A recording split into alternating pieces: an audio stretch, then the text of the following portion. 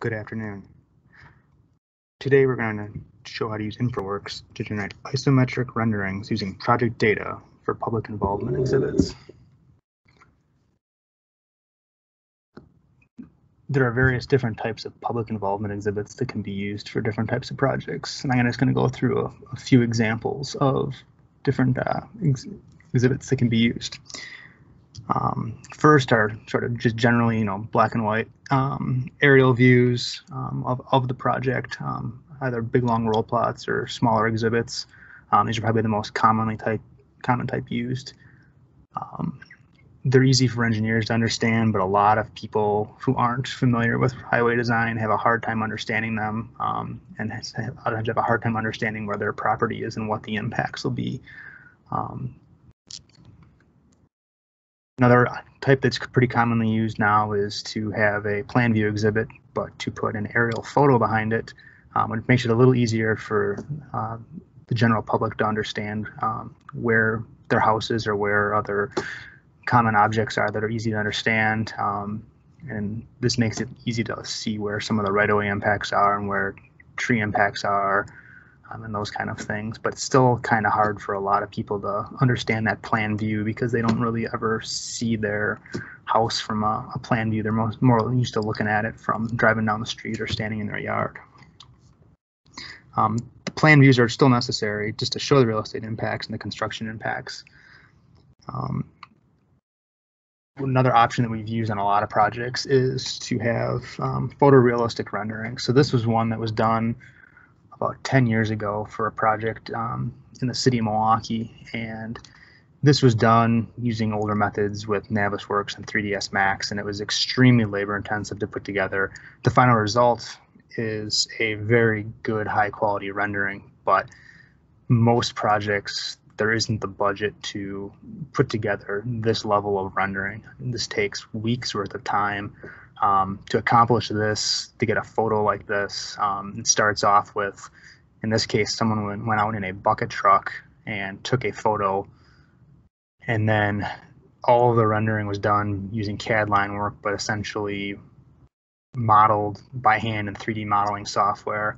Um, by someone who does this on a regular basis. And you know, the end result is very high quality, but extremely labor intensive and the biggest downside is you have, you have to select the exact location you're going to use for your rendering before you start.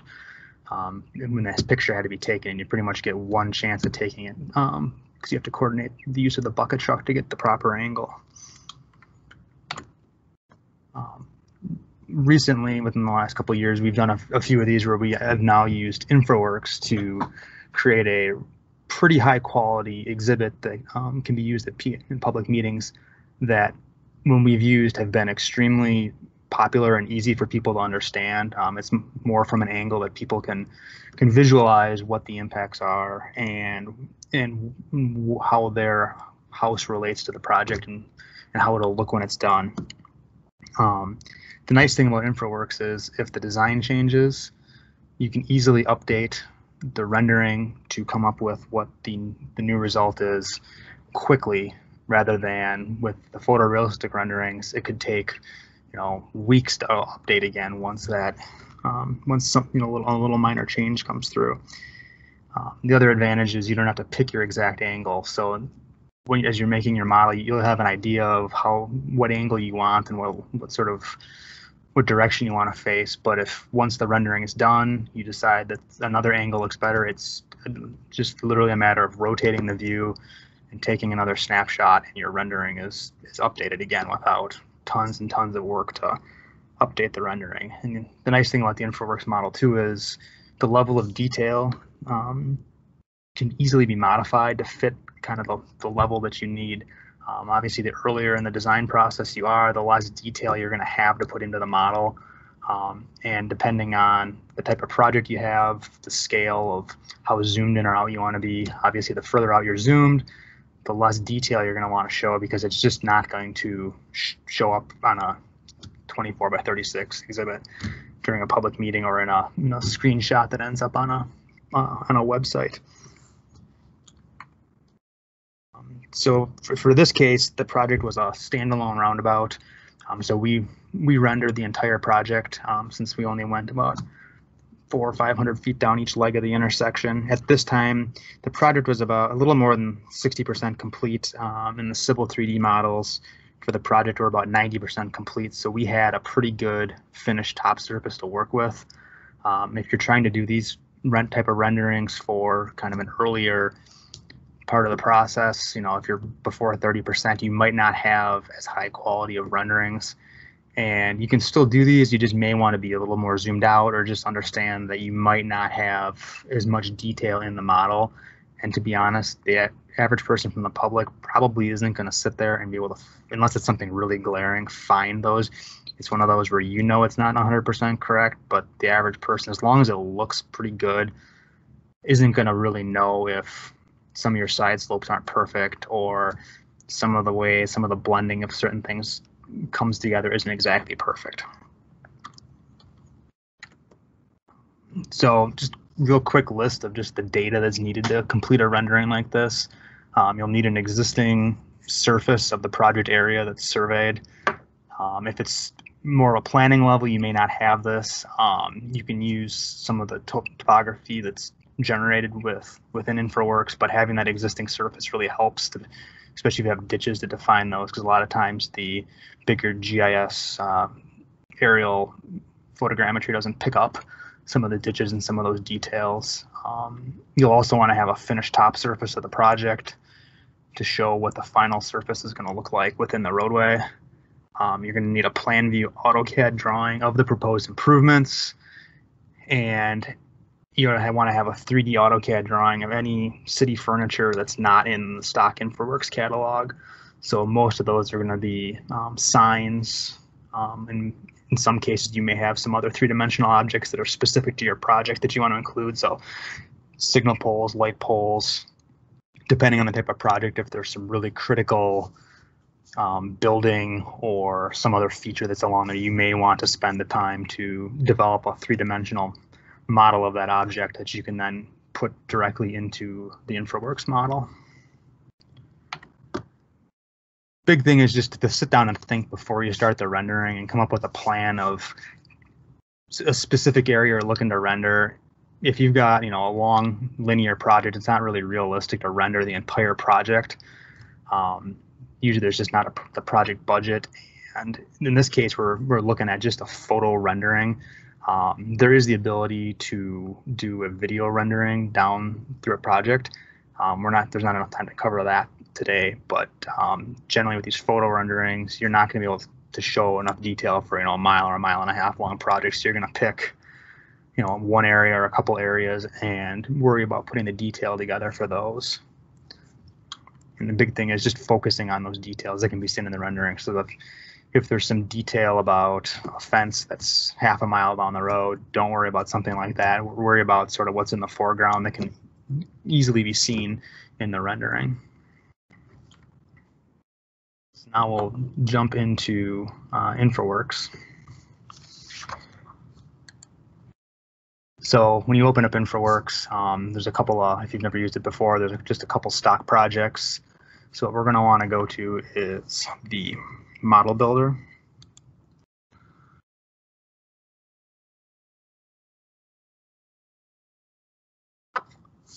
So you'll want to search by location, so either type in the area or you can zoom in.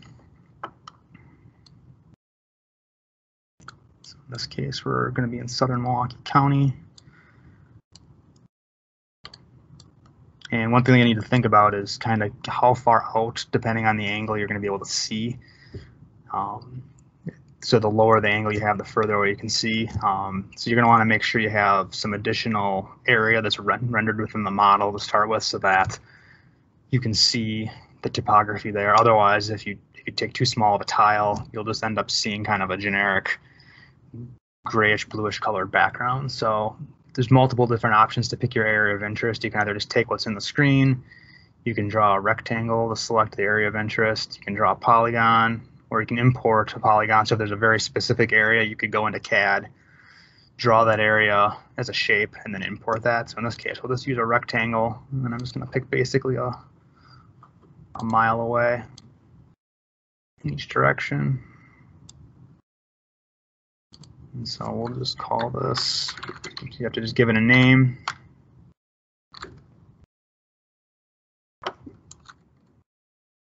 Click create model.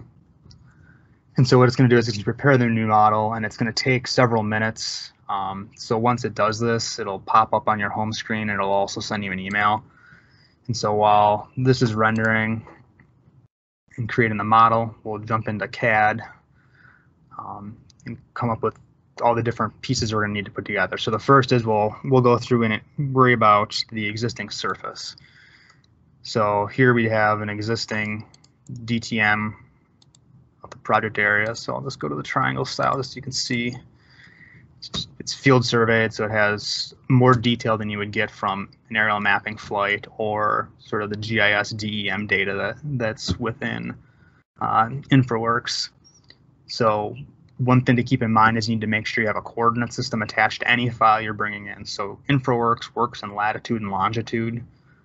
And so generally with projects, you're working either in county coordinates or state plane coordinates. This project happens to be in state plane coordinates.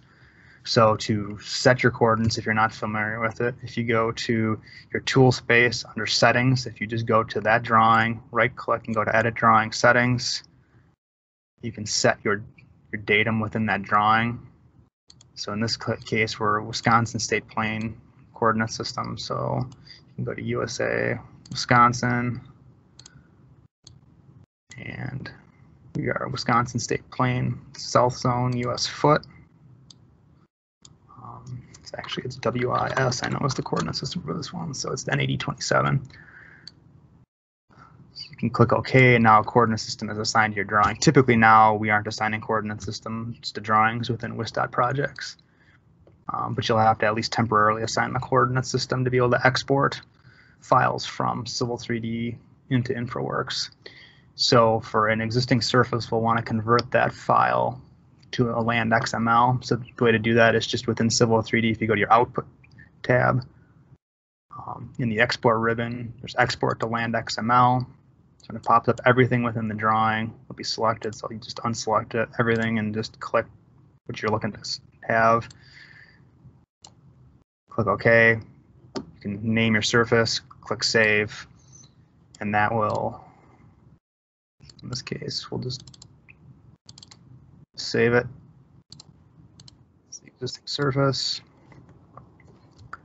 And now the existing surface has been saved. And now we'll go back and now now this has popped up, so it's it's created the model. So if you just double click on it, it'll download the model and open it up.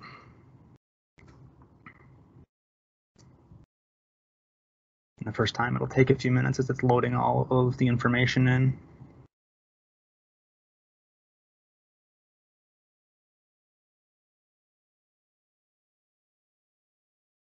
So now you'll see we have the tile and of the area we looked for. So our subject intersection is going to be right in the middle of the tile. And you can see Sevens, there's a quarry nearby, so you can see there is a DEM that's been downloaded with it that drapes the aerial photo onto that DEM so you can, it's pretty obvious here because of the, the quarry that there's some relief and you can kind of, if you zoom down to the road level, you can see, you know, there's a berm here. Um, but because it's a DEM, it doesn't have as much data necessarily as with the ditches. And in this case, this project is under construction. The photo was taken. Um, you can see also the component roads are in here as well as some streams. Um, we don't need the component roads or the streams in this case. Those are used for more of a preliminary design and analysis that most people use InfraWorks for. Um, so what we'll do is we'll go up to the display tab under the surface layers, we'll just turn off roads, water areas and waterways, click apply, and it'll regenerate the model and we're just down to an aerial photo. So now we're going to look to import that ex that existing surface. Um, and I've also already done the same same thing with creating XML, the finished surface. So in this case, you're going to go to data data sources, and it'll pop up a box that'll show different ways of um, different things that can be imported as data sources. So in this case, you'll click the first icon on the top left, and this will give you all the different options of different file types you can import. So in our case, we want to import a land XML file. Go out and find that file. So select your existing surface. And you'll see it pops in here. And so what you have to do with any surface that you import is just double click on it and it'll pop up and it'll say what coordinate system it is. Always check when any anytime you import anything, check your coordinate system and make sure that it matches. One thing it'll show is it's the terrain. In this case, you can't click and change that, um, but just click close and refresh, and now it'll actually add it in. So we'll do the same thing with our finished top surface.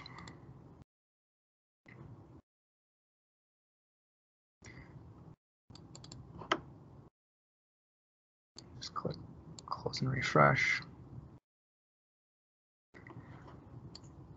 So now you'll see it's still not showing up. So what you have to do is go into your surface layers and you'll see that under terrain surfaces, both those surfaces we added are considered uncategorized. So to make them categorized, what you need to do is just grip slide it down onto ground surface and now the order matters. So with any of the any anything with the renderings that we're doing, whether it's going to be the surfaces or any of the coverage areas we're going to create, the order that they're listed is kind of the build order. So the the lowest is kind of the lowest layer. So you want to have in this case, we want to have the DEMs of the overall. So that just happens there's two of them. We want those to be at the bottom because that's the much larger air, outside project area. We want to have our existing surface, and then we want to have our top surface. And you'll see that these are on the light bulbs are checked off. So you also want to make sure those are checked on. Click apply and click OK. So now you can see there's some more ditching that was added in here, and now you can actually see the surface for the finished roundabout in here. So now we have all of our terrain in here. So now we have our terrain surfaces that we can use. So now the next step is to start bringing in what, are called coverage areas. So that would be any kind of material we want to bring in that is going to be visually shown. So you want to go into Civil 3D and create a new file, make sure it has the coordinate system attached. Now I've already gone ahead and made most of the areas, but all you really need to do is go in and turn on your pavement file or your slope intercept file. And what I do is I create a new layer for every material type. So we'll start off with just the slope intercepts and so we'll isolate that layer out. So what I've done is just gone around and where the slope intercept is and drawn in a line, a closed polyline around the entire slope intercepts because we'll want to we'll want to have that shown as in this case a grass color. And because of how InfraWorks layers things, rather than having to draw a separate area for any grass outside of the roadway or the curb and gutter or the sidewalk, you can just draw one large overall area that can then be rendered and as other layers of pavement and curb and gutter are put on top of it, it will clip those areas out that aren't going to be grass any longer. So that's one way of minimizing the number of shapes you have to bring in. Um, so in this case, this would be our slope intercept. Which you can see then, you know, the next layer I would render would be the, uh, the asphalt. So you'll see if I isolate that layer out. Same thing. I didn't worry about any of the medians or the um, or the central island of the roundabout. I have the asphalt pavement for the roadway, and then in this case we have three asphalt driveways that'll be added in as well. So for curb and gutter, what I what I typically do is I'll just you just draw an outline of each each run of curb and gutter. And in this case, if you have an island that's going to be completely concrete, you can just fill the whole island in. And in this case, this is the central island. And this will be the central island curb that's on the inside of it. So in our case, we've got multiple different coverage areas. So we'll have one for our slope intercepts, one for our asphalt areas. We have some sidewalk. We'll have all the different concrete areas. We'll have there's some gravel shoulders. We have some red decorative concrete. Um, there's some grass in the central island, and then we have the detectable warning field. So if I unisolate the layer, as you go through, you can see all the different shapes that are in here. So I recommend putting each material type or each each time you want to import something on a separate layer so it's easy to isolate out like that because the next step we have to do is to go through and create a shape file for each material type. So if we go back to this, so we'll turn off the pavement file just to make it easy to see everything. So if I go to my slope intercepts, isolate that back out. And so we want to create a, a shape file of this of this shape. And so this is where the coordinate system comes in again to make sure you got that assigned because that gets assigned to the shape file as well. So the easiest way to create a shape file is to just type in map export into the command line. And, we'll, and you would just name it. Um, so you would click slope intercept and we'll just make sure it's called something else so we don't overwrite the one I've already got created. And so this box will pop up. Um, so under the selection tab that pops up, you'll have the option for an object type of either a point, a line, a polygon, or text. In this case, we want it to be a polygon, and we want to select manually. So you would select that polygon. If you had multiples, you would select multiple, and then you would go to the Options tab. And so we want to leave anything with the coordinate conversion unchecked, and we want to click Treat Close Polylines as polygons so that they're treated as polygons when they're imported into InfraWorks, and then you would click OK, and it'll then create a shapefile. So you'll do the same thing for every different material type that you're looking to generate.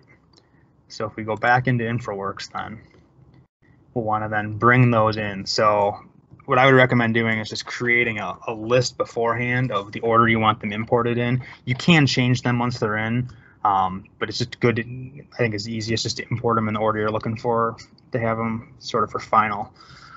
So what we'll do is on when the data sources window, instead of using a land XML, we'll go to a shapefile.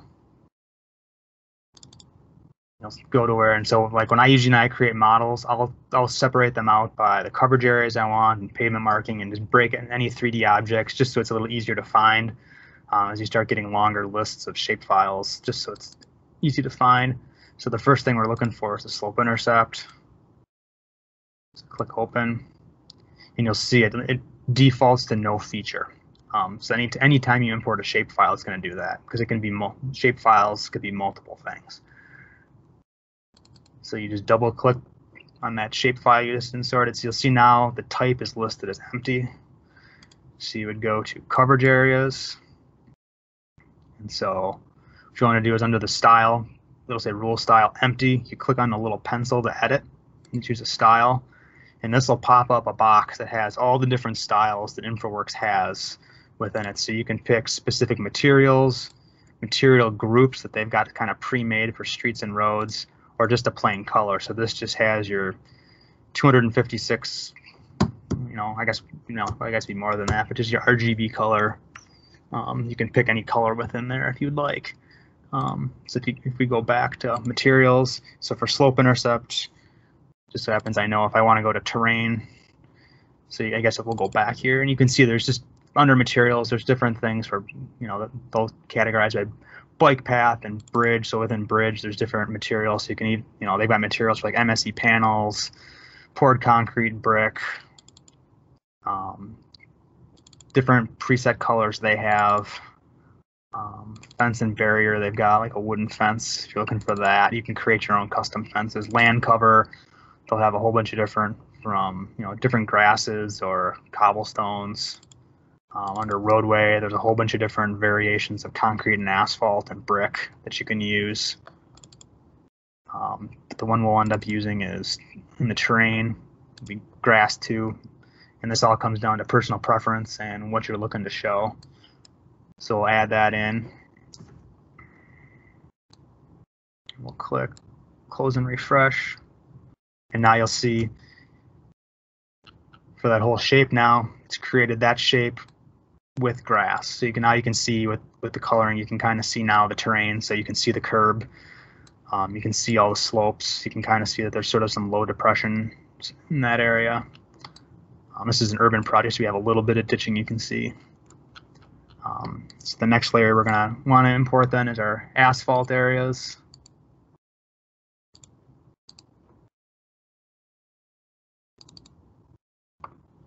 So again, we'll go up to the type, change it to coverage areas, change the rule style.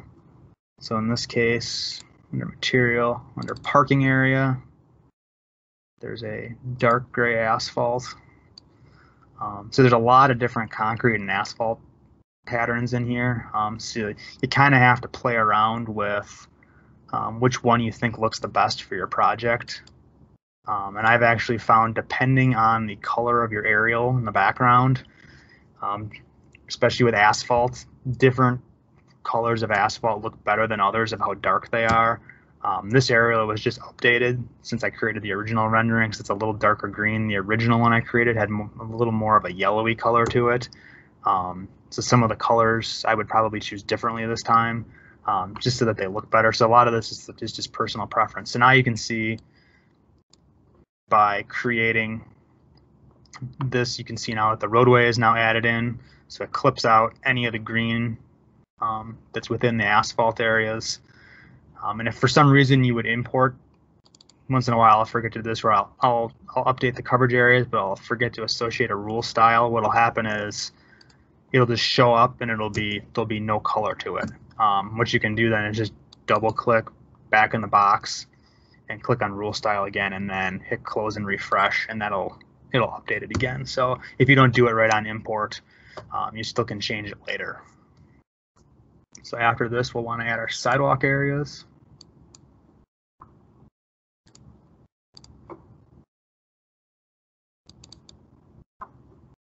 Again, we'll change to coverage areas and for the concrete under parking area, there's a gray concrete.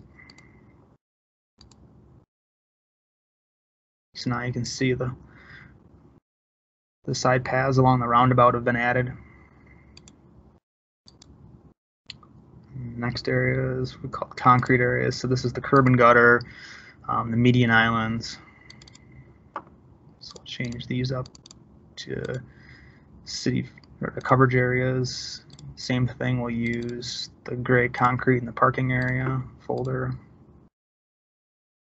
So this now is brought in the curb and gutter, these islands. And so in this case, this island will eventually have red concrete, gray curb and gutter, and then grass on the inside. But we can just draw in one circle to color this all in to start with rather than trying to worry about creating um, a shape that just delineates the curb.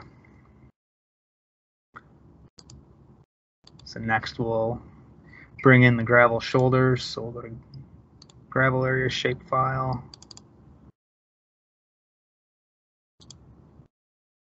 Type coverage areas again. The rule style this time we'll go to terrain and gravel. Close and refresh. And now it's drawn in the gravel shoulder so you can see now you know similar similar colors, but you can see there's as you zoom in, there's a little a little bit different variation, and part of this comes into knowing how detailed you're going to be. Um, if you're zoomed out far enough, you're probably not going to even be able to tell the difference between the gravel and the concrete. You could save some time probably and just create all one big area because it all looks kind of gray. Um, that's part of just planning ahead of time and just kind of knowing kind of what scale you're looking for.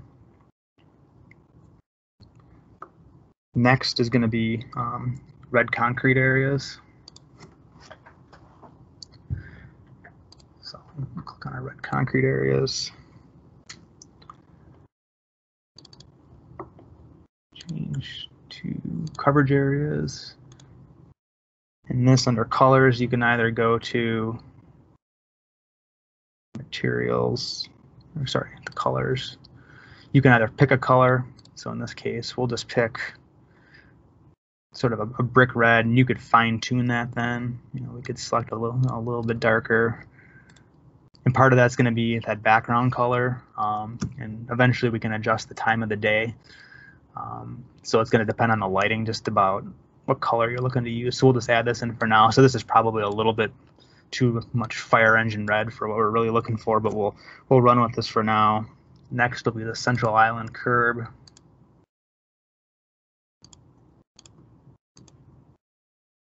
And so now you can see it clipped out on the inside. So now we want to clip out the red on the interior inside the truck apron. So we'll go back to coverage areas and then under rule style, we'll go to, in this case, it's parking area, gray concrete, close and refresh. And now you can see it clipped out the red. And so we're, just left with a gray circle on the middle. Next will be the grass for the central island.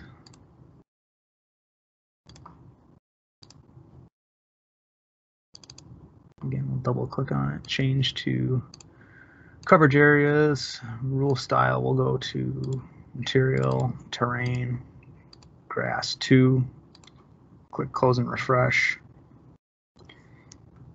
And so now we have the central island grass. And then the last is going to be the detectable warning fields. And again, this is this is getting pretty detailed, putting the warning fields in. If you don't have your curb ramps designed, um, you know, this is obviously something you don't need. In this case, we are far enough along, um, and there was a school nearby to the project, so pedestrian accommodations were important to the public, and um, parents were concerned about with this roundabout being the first one in the area. They wanted to know how students are going to get to and from school, um, so we wanted to show uh, these. So choose a yellow color, close and refresh, and now you can see those are added in. So in this case, it's just a yellow block. So if you zoom in, you're not gonna you're not gonna see the the uh, detectable warning field, the actual little raised nubs that are on there. Um, if you you know if you had some sort of pedestrian project that was really zoomed in for some sort of critical crossing, you could add that kind of detail in to put those nubs in by creating a um, a surface and blending that surface in that showed those nubs. But for something like this that is way too detailed for what we were looking for. So now you can see just by importing a few coverage areas, and that took you know 10 minutes or so, um, we have a pretty decent looking rendering already um, of what the area looks like.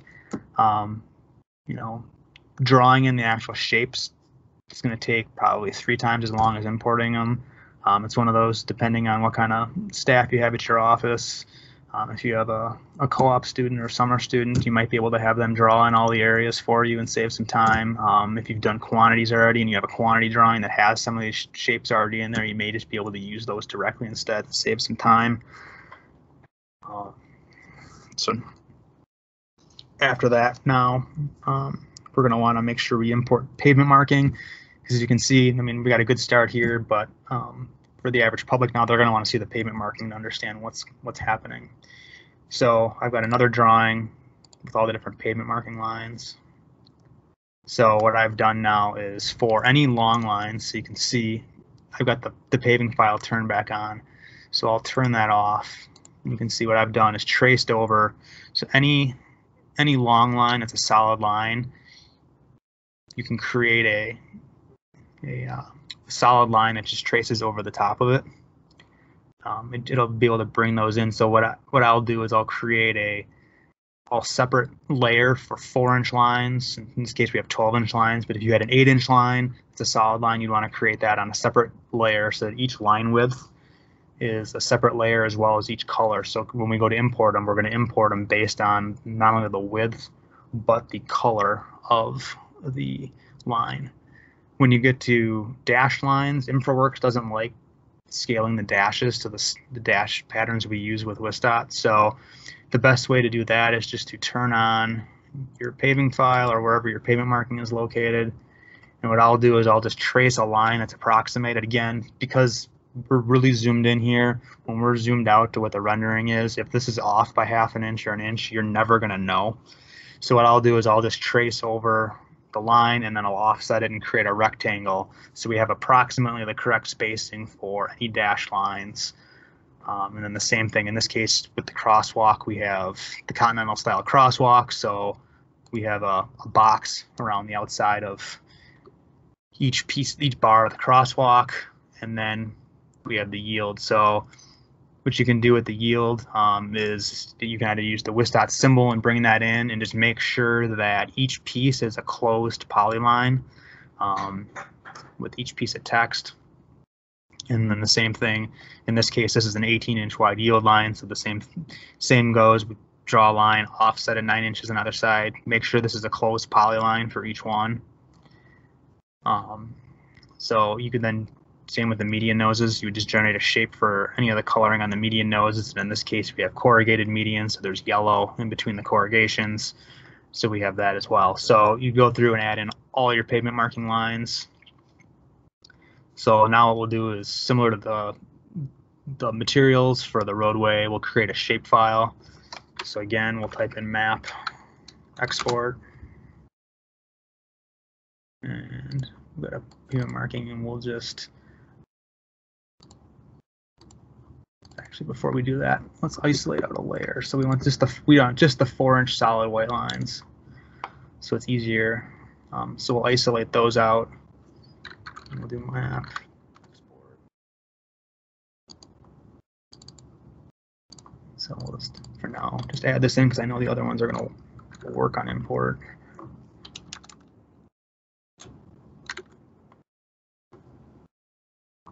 So now this will pop up and now we're dealing with lines. So with object type, you'll want to type in line, select manually.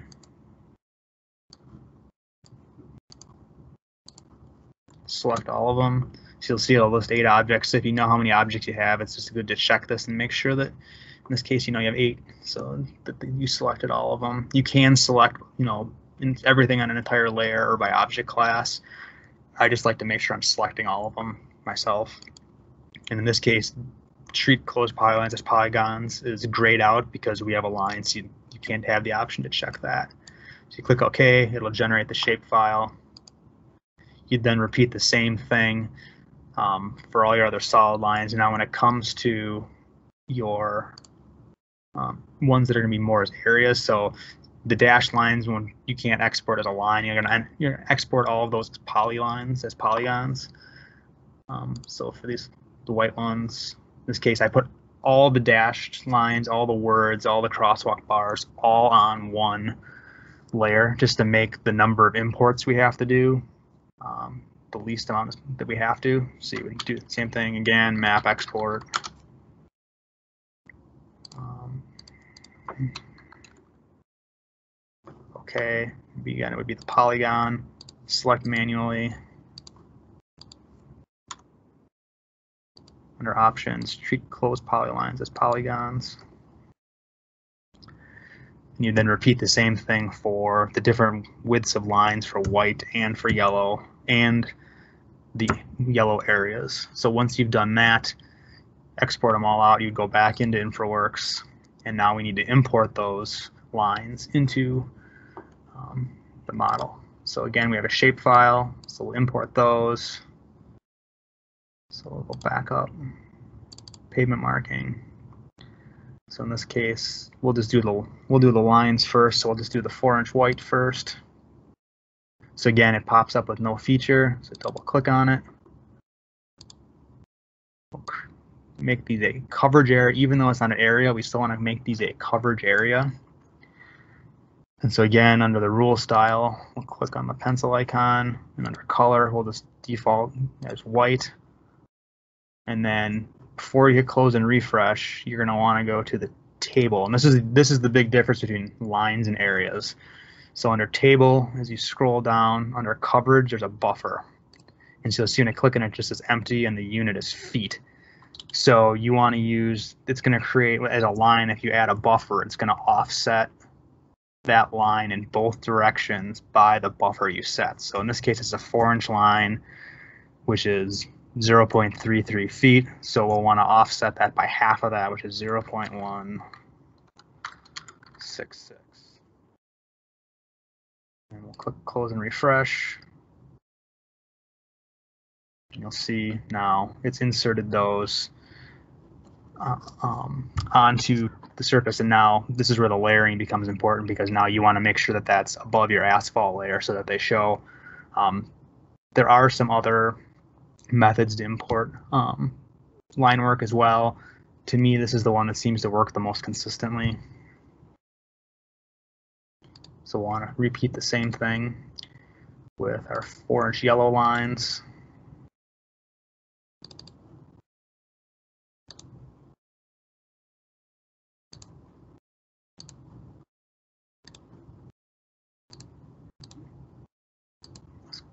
Yellow.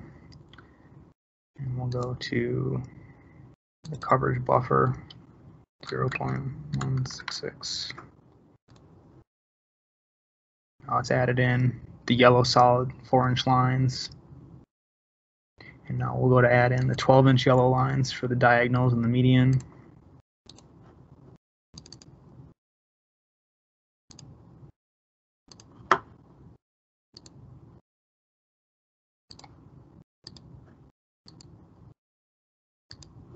Under the buffer. Again, now these are 12 inches wide, so we'll have 0.5 as our buffer. Click close and refresh and now you can see because of the different buffer we have a different width of line. So now we have all of our solid lines. Next we're going to want to import our coverage areas that'll have um, the words and the dash lines and the crosswalks. So again we'll import a shapefile select white coverage areas double click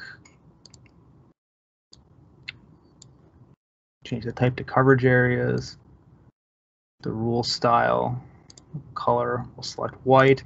And in this case, because it's a, an area and not a line, we don't need to add the buffer, so we'll just click close and refresh.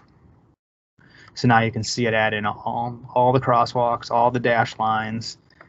And when, it, when it's brought in, you can't tell that this is a four inch coverage area that's an actual shape that we drew in and that this is a line. um, for these dashes, you know, in this case, we didn't have a lot of dashes. Um, if you had a long, you know, if let's say you had like a six or an eight lane divided highway, um, you'd have to make those shapes for each one of those dashes. Um, so that's kind of the downside of this method. Um, you can use a, a barrier style. Um, within here. Um, it takes a while to set up. If you're doing a lot of these, it'd probably be worth the time to set the, some custom barrier styles up. The other other method would be then within Civil 3D, you could set up um, an, an, array that would then you could easily add a dash every every 50 feet. Um, that's 12 and a half feet long, as long as you've got a long straight road. If you've got curves, then you'd have to draw those in by hand. Um, but you can use the array to um, and then explode the array to try and generate those a little quicker rather than having to draw hundreds of um, little boxes. So now we've got the white areas in, we'll want to add in the yellow coverage areas.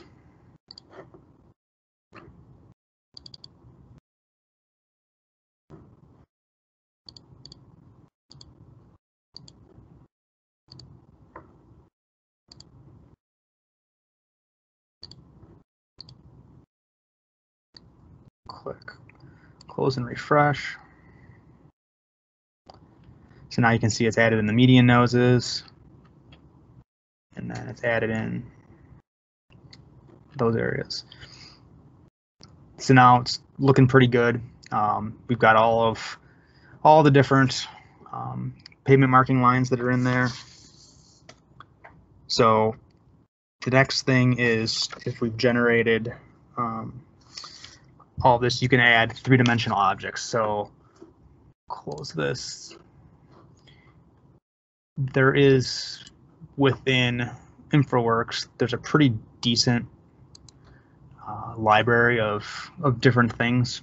Um, you can choose. So under 3D model, there's a whole bunch of different city furniture. So you can see it has different, you know, post office boxes and newspaper kiosks. I mean, there's, there's a lot of stock, trash cans, recycle bins, um, different various things they have.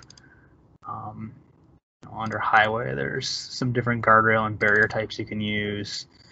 Um, vegetation, you can see there's a lot of different tree types. And this is probably the one that I use the most is the different tree types. There's also vehicles in here as well, and there's also um, houses as well. So the, the vegetation and the houses are probably the ones I use the most. Um, you can see under vehicles, there's just, you know, all sorts of different sedans and buses. So depending on how much detail you want to, you know, you know, depending on how much detail you want to put into the model, you could leave it just like this and not add, add any three-dimensional objects to it. Um, and most people would probably be completely fine with how this rendering looks. Um, in this case, I'll always go into style editor. You can't add them from here, but usually what I'll do is make note of which ones we're looking for. Um, so we'll just go to add in a tree. So I can see like there's one that's just a uh, it's some sort of dark green. So I just know it starts T16. So what you can do then is go to the create tab under the environment ribbon. Um, there's a an icon for city furniture. So you can click and add that. Because um, if you type in just tree,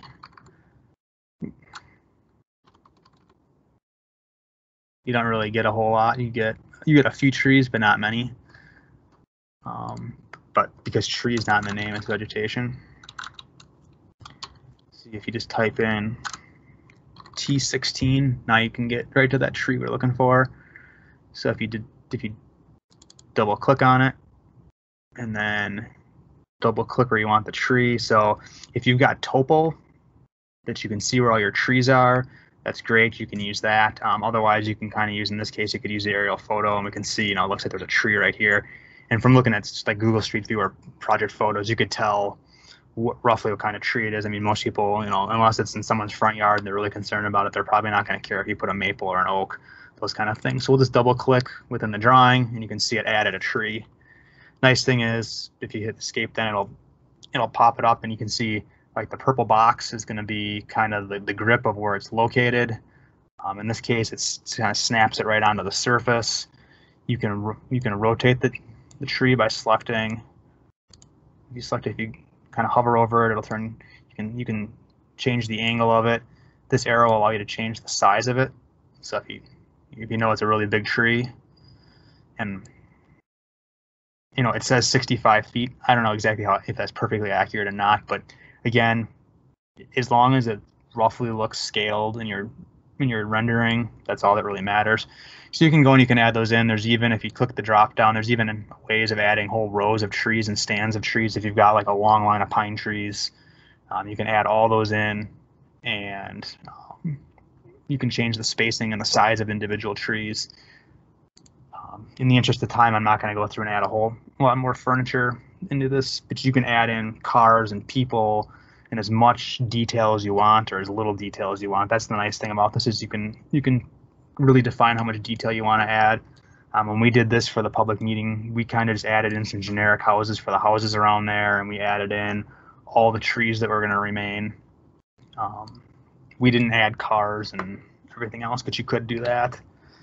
Um, one other thing that we did add though was signs and light poles. And so what you can do with those is InfraWorks doesn't have a really good library of US MUTCD compliant signs. So what probably took the longest part of the whole rendering process was creating these signs. So to do that, um, I believe you can use Autodesk Inventor to do that. That's not part of the AECC collection that has InfraWorks and Civil 3D. So we don't have that as part of our package. But what I was able to do is just go into Civil 3D and you can draw 3D solids. So if you go to your workspace and you can switch to 3D modeling, and we aren't going to have time to draw um, a full one in here, but what you can do then is it'll change kind of your palettes up top. And what I'll usually do is either bring in, so I, you can just change the rotation of your view to the front view. And you can then go into either the WisDOT sign library and import a sign block, or what I've done if there's not one in the sign library, um, or it's a custom sign, what I've done is I've just gone to, just gotten, gone to the MUTCD, taken a screenshot of the sign and made a JPEG out of it inserted the JPEG and scaled the JPEG to the correct size. So this sign is one to one scale. So if this is a 24 by 30 sign, it's a two foot by three foot sign. you import that PDF in and you can just trace the line work over. Because again, with the rendering, if it's not exactly, you know, if this arrowhead isn't perfectly crisp or this radius isn't exactly perfect, no one is going to know as long as it looks okay. So what you can then do is create a series of three-dimensional objects. So in this case,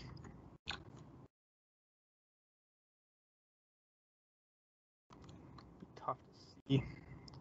But when you make them, the critical thing with any of the signs is as you make them, make sure that the, the sign has a little bit of a thickness. I usually make it, you know, 0.02, 0.03 thick.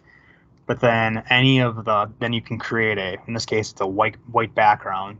But then any of the symbols in the border, you're going to want to make that at least 0.01 feet thicker of an extrusion so you can use the extrude object for, for those shapes. You'd make a close polyline and extrude those out. You want to make sure they're at least 0.01 thicker than the background so that when you group these all into one solid, that those all stand out. So you can, before you make them all as one big solid, when they're individual solids, you can assign a color out of the material library and you can add different color, you know, either the yellow or the white or the green background. And then, and there's, we aren't gonna have time for that with this um, video, but Jeff and Jerry Bartles both have really great videos on YouTube and on their blog um, on how to do things like this, not specifically signs.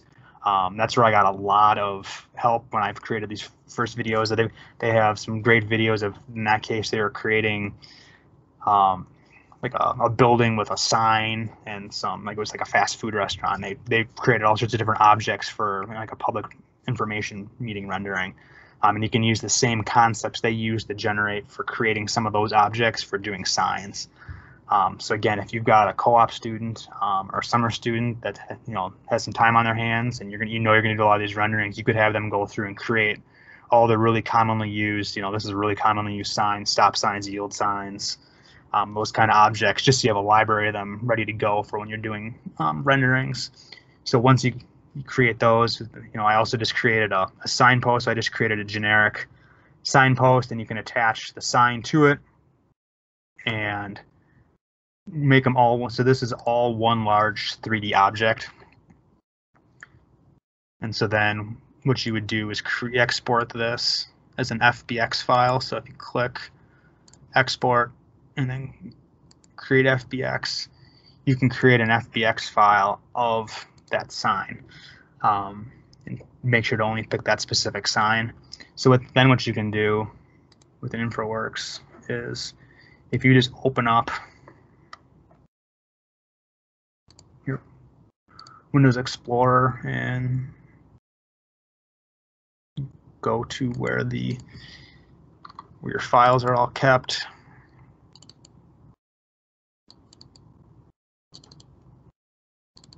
signs.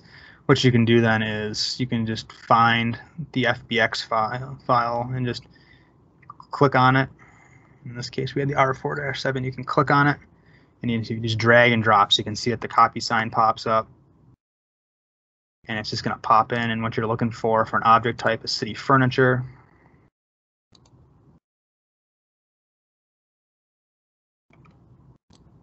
And that one didn't import. Um, sometimes you got to play around with the scale of these. So it's showing up as not connected. Oh, we have to change the coordinate system.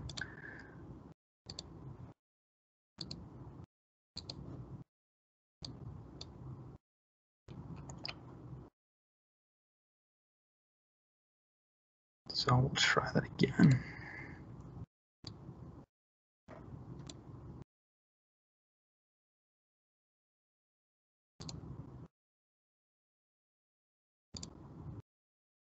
Oh, this is what I missed the first time. We want interactive placing if we want. So it's otherwise it places at zero zero zero. So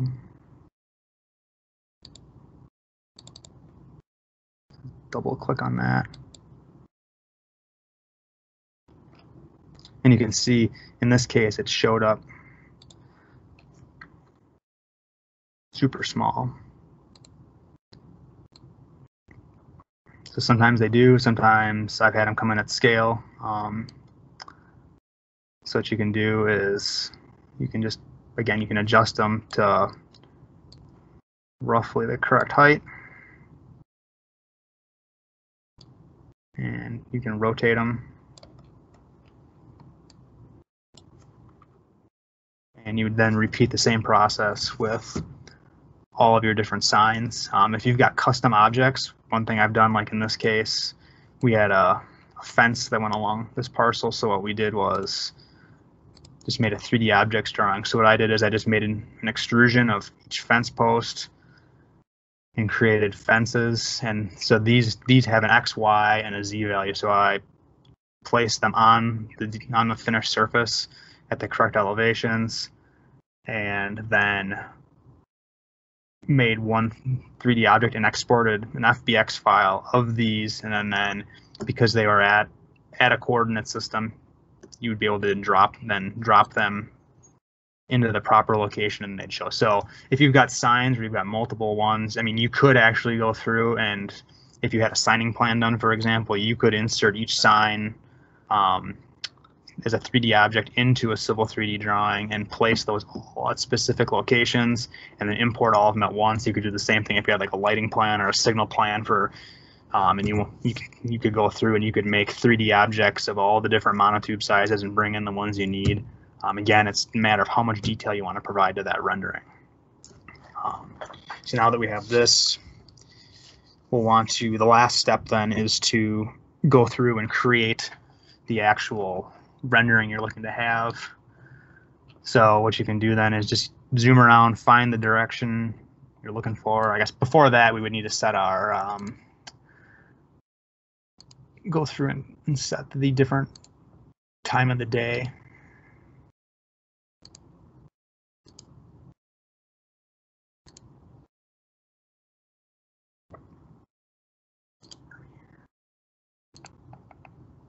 So under the Manage tab, if you go to Sun and Sky, you can see you can adjust the date and the time. Um, so you can see here there's a little bit of a shadow here because um, it's just defaults to April 1st in the middle of the afternoon.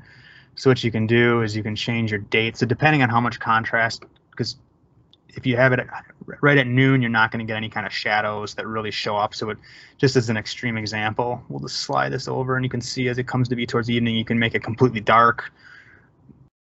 Um, but you can see you can you can create shadows.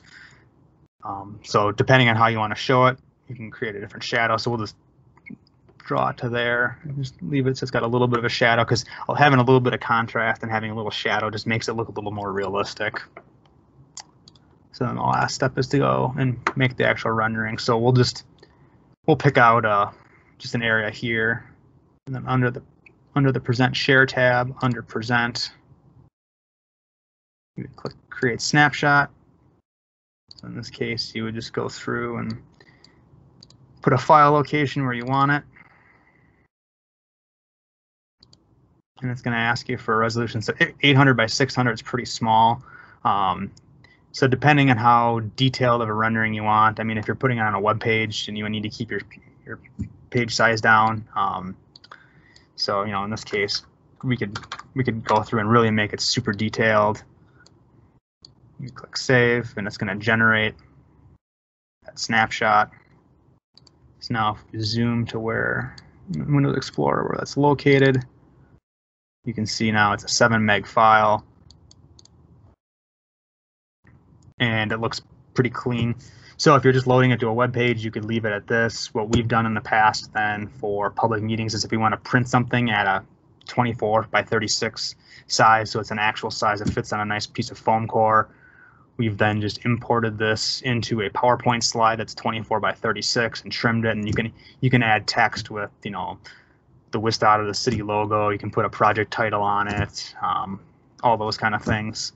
Um, so you know, as an example, this is kind of the final product that we had when we did our public meeting. So you can see we had we had some trees, we had light poles, um, and grass, and some of the roundabout signs, and some vehicles, um, and that's what we had. Um, and if there's any questions, just you know, type them in the chat bar, and I'm more than happy to answer any questions.